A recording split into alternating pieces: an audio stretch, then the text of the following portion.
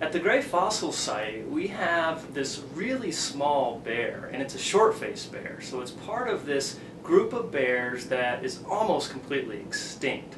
The only living bear in this group is the spectacled bear of South America, and the one that we have at the Gray Fossil Site is an incredibly small bear. It would have been about the size of a German Shepherd. Bear we have is Plionarctos, and Plionarctos is the genus of the bear. And again, these bears all had a relatively short face, and the bear would have been about the size of a wolf or a German Shepherd. Uh, how, do, how much material do we have of our bear? So the bear isn't one of the most common animals we have, but we actually have specimens from the site that are found at, at no other fossil localities. So we have partial skull material, and when we look across North America at Plionarctos, what's really known is just the teeth. And so at this site we have a partial cranium like this, and we have a number of the teeth and a lower jaw. And already what we can tell is that the bear at the Gray site is an entirely new species of bear. So when we look at the material from our site and how it compares to other fossils that belong in the same genus, Plionarctos. Ours is smaller. The teeth are more squat, not as elongated. Basically, they're a little bit younger than some of the Plionarctos material that's been found out in western North America and more similar to material that's been found in Florida. So if you look at material from some of these early sites out in western North America, all they have are basically some tooth fragments, not even complete teeth in, in most cases. What we have is most of a skull. This is a black bear for comparison, but we have most of the skull of Plionarctos, and we have, we have quite a bit of the dentition, or teeth, as well. And this actually represents, right here, uh, some of the teeth that we have from our Plionarctos, and you can see where they, where they fit in the mouth, actually. So very complete, relatively young individual, a relatively old individual, at least two specimens, maybe three individuals. So our bear, if we look at other fossil sites, Plionarctos shows up in North America, and you can say Plionarctos, you could say Pleonarctos. We don't know exactly how the Latin uh, language would have pronounced it. But this bear tells us that our site dates to between around 7 million years ago or younger because they show up in North America around 7 million years ago at other fossil sites that have radiometric dating. That's where we get our upper age bracket for the fossil site. The site actually dates to between 7 and 4.5 million based on the fossil rhinos because rhinos go extinct in North America around 4.5 million years ago. So the little bear that we have, if, if you look at the teeth of any bear, really, their teeth, their dentition is omnivorous. They're really eating plants, they're eating animals, and beyond that is really guessing. And so we have this little omnivorous animal, a bear, and it's probably doing similar things like raccoons do, in that they both eat plants and animals throughout their lifetime. Cool. As with any fossil animal or plant, you look at specific characteristics of the anatomy, the shapes, the bumps on the animal or the plant, and that help those help you narrow down what animal you're actually looking at. And in the case of bears, they have uh, particular shapes to the teeth. And these shapes to the teeth uh, tell me that they're bear and what specific kind of bear we have. Again, this is a black bear, which has a very specific dentition compared to a giant short-faced bear or Plionarctos.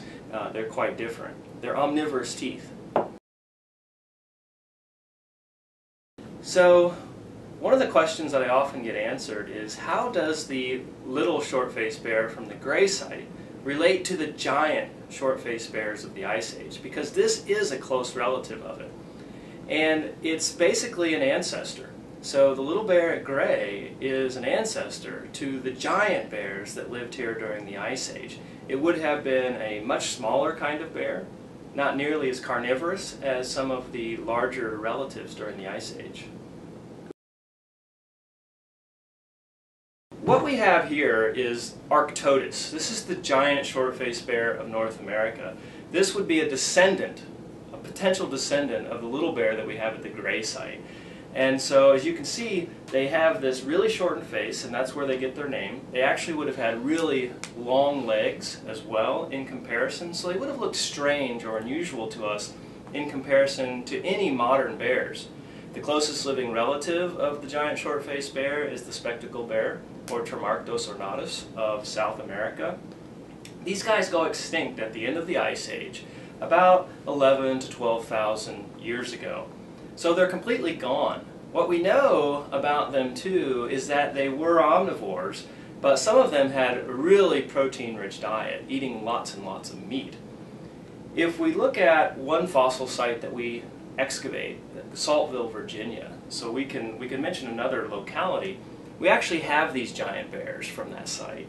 And they were chowing down on mammoth carcasses at that site. And so it's a really neat paleobiological uh, question that they help answer in that what happens to these mammoth carcasses and who eats these? Well, we know that these guys were doing it. And so we have fossils of them from that site.